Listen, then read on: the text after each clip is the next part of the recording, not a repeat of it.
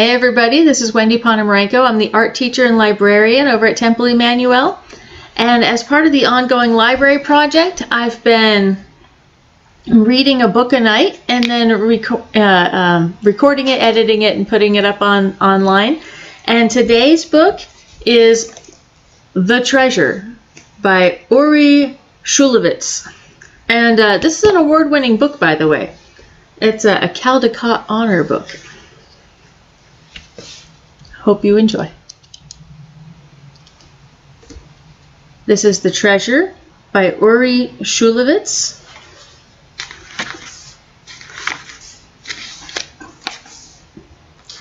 There once was a man, and his name was Isaac.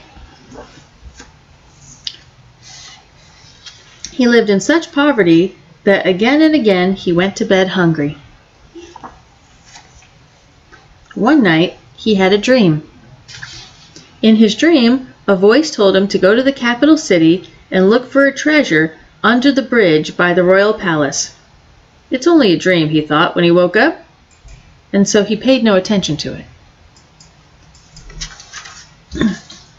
The dream came back a second time, and Isaac still paid no attention to it. But when the dream came back a third time, he said, Maybe it's true. And so he set out on his journey. He walked through forests. He crossed over mountains.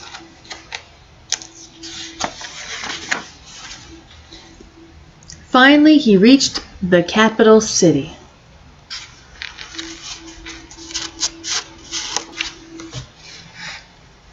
But when he came to the bridge by the royal palace, he found that it was guarded day and night.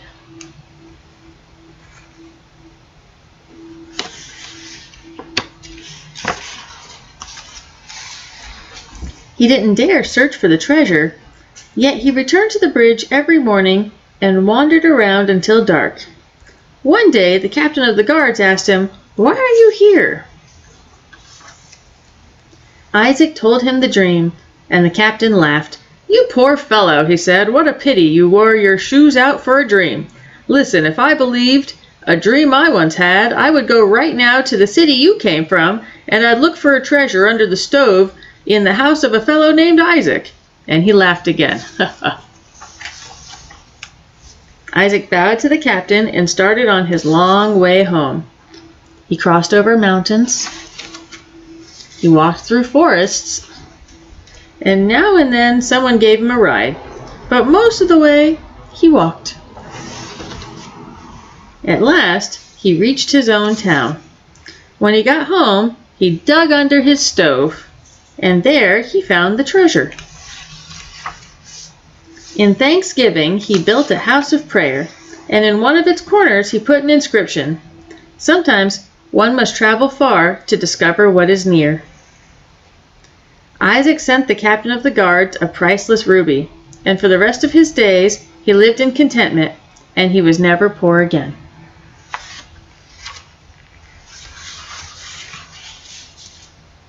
The end.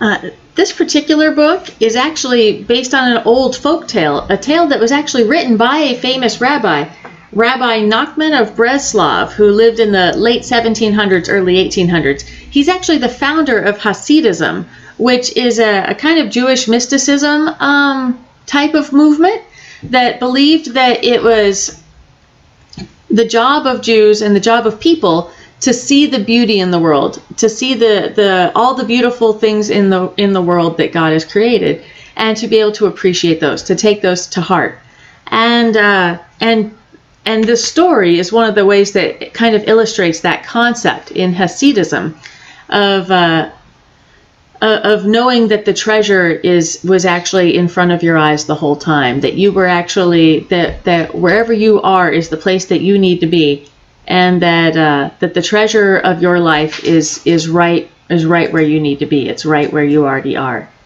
and uh, that story is is probably not the most well told story, but it has gone around. In fact, there's another version of it that was made into another award winning book called The Alchemist, which we do not have in the in the, in our Jewish library, but you can find this in almost every other library, including my home library. Uh, and this basically tells the same story, only starring a Portuguese shepherd. Uh, with a lot more detail in it, of course. But uh, but yeah, it's it's basically the same tale of uh, of traveling, of dreaming of a treasure, and then traveling far away, and then finding out that the traf- that the treasure was actually where you started, and then coming back and finding it. So uh, so yeah, this is a famous uh, a famous tale, and this book itself also won awards. The The Alchemist won awards. The Treasure won awards. This one actually won the Caldecott and uh, you can find this in our easy fiction section uh, in our juvenile stacks. Enjoy.